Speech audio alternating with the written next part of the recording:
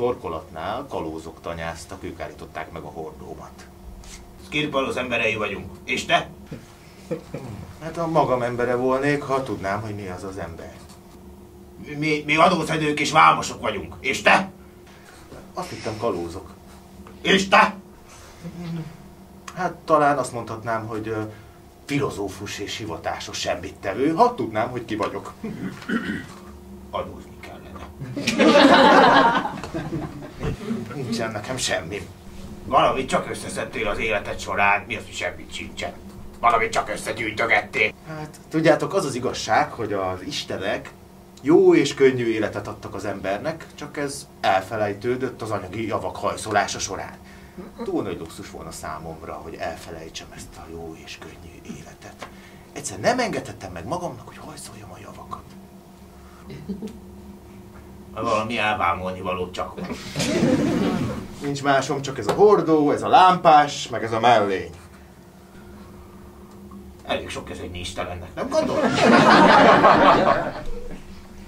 Na, nézzük csak, milyen hordó ez? Szabványos. Á, nem, persze, hogy nem. Milyen lámpás ez? Jaj, hát ez rossz, alig világít. Ócskavas. Milyen mellény ez? Mentő. Kit ment meg? Az ember. Mitől menti meg? Az embertől. Hogy hívnak balon? Szinopei Diogenész vagyok. A hihet pénzhamisító? Az is voltam, de már nem az vagyok. Hát akkor kell, hogy legyen pénzed. Legalább egy kis hamis. Minden pénz hamis. Nekem sokkal értékesebb vagyonom van. Na, ez egyszer már biztos, mi?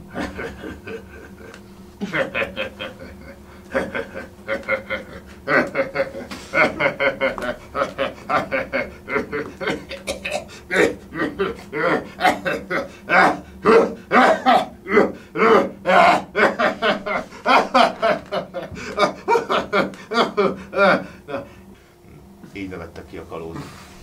Legalábbis így mesélik, persze teljesen máshogy történt, de a végeredmény szempontjából teljesen mindegy, ugyanis eladtak rabszolgának. És ez a legjobb dolog.